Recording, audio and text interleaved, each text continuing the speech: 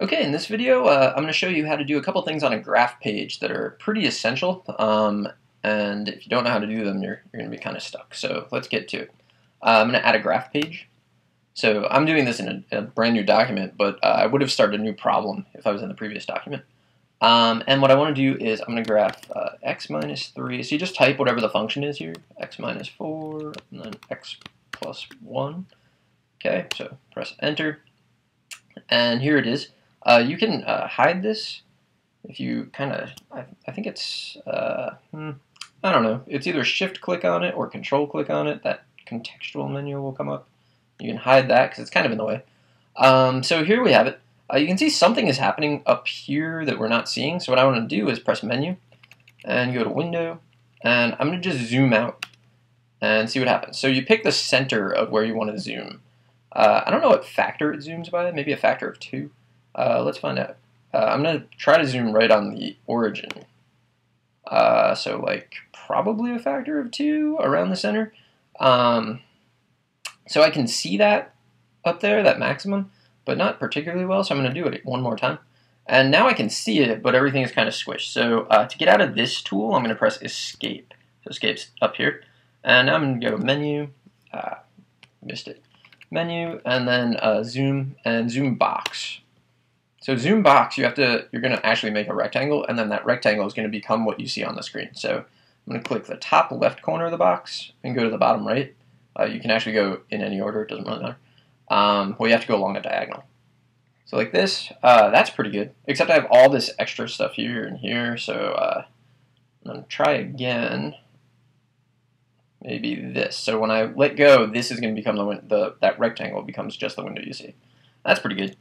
Um, so the next thing I could do is I could manually set this. I don't really do this very often. I like to just zoom out, zoom in, and zoom box. But uh, maybe I want, you know, just kind of integers for some weird reason. Uh, negative 5 and then 15. So I'm just typing it in. So that was, uh, there you go. Now you got your integers. So that was menu and then window and then option 1 for settings. And then you can just type it in. That's good if you're given a problem where you're given the graph and you have to kind of mimic it on your calculator and then figure things out. You always look at the minimum, maximum, x, and y, and then just set your calculator up exactly the same. Uh, so we have that. Uh, the next thing I want to do is find an x-intercept, uh, which the calculator calls a 0, uh, and eventually you will also call a 0, maybe you do already. So I'm going to press uh, menu and go to option 6 for analyze graph, and option 1 is 0. So what you do is uh, you click to the left of it, so I want this x-intercept right here, and click to the left of it and just drag until I get to the right of it, and then release it, and it gives me that. And then I'm going to have to do that again and again. Um, so this is actually not the way that I do it. Uh, what I do, uh, let me undo that, is I, I'm going to press uh, tab to get this bar back, and I just graph 0, which is the equation of the x-axis. And now what I'll do is menu, option 8 for geometry, who would think, and then option 1 for points and lines, and then option 3, so menu 813. Uh, you'll hear me probably say that in class a lot uh, click the first graph you want, click the second graph you want, and you can see at the bottom here it found all of them at once. So I'm going to escape so that this tool goes away, and then uh, click and drag these so they're not really in my way anymore. Uh, and there are my x-intercepts. And then uh, there's one more thing that I want to do on this page, and then another quick thing. Um, I want to find the maximums and the minimums. So uh, if you go to menu and then analyze graph, analyze graph is usually where you find you know you're trying to analyze a graph, so that's where you're going to find uh, ways of doing that. So minimum. Uh, again, you pick the function. So now I have more than one function, so I have to first select the graph. But you can see down here it's telling you what to do. Graph, uh, this graph. And then the lower bound means to the left. So I have to be to the left of the minimum. And then I drag until I get to the right of the minimum. Uh, it's kind of weird, actually. If you look at the right edge, it's always saying that the right edge is the minimum value because it is on that interval. And then once you pass that minimum, it kind of locks in.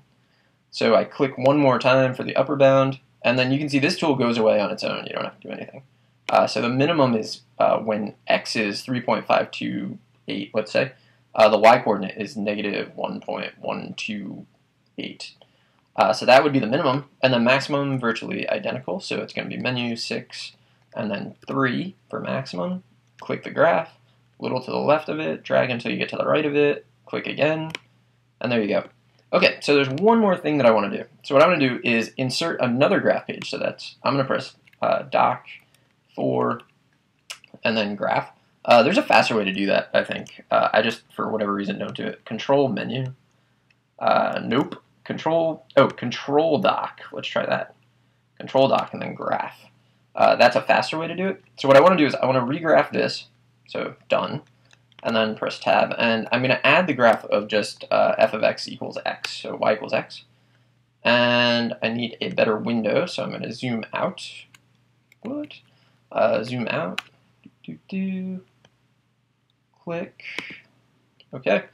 And maybe zoom box, menu, and then zoom, and then box. So I want those three intersection points is really what I'm trying to get here. Like that. And then if you remember intersection points, the easiest thing to do is menu 8 and then 1 and then 3. That'll get them all at once. So I could do that. I could do menu uh, 6, 4 intersection. That's going to give you uh, one intersection point at a time, which is fine. It's just not all of them at the same time. So I'm going to undo that and do menu 8, 1, 3. And you want to like memorize that because it's so much faster. So I have that drag them around so you can read them or maybe hide some other things. And there you go. So that's uh, a lot of the basic things you need to be able to do on your calculator in terms of graphing. Hope you found this helpful and good luck.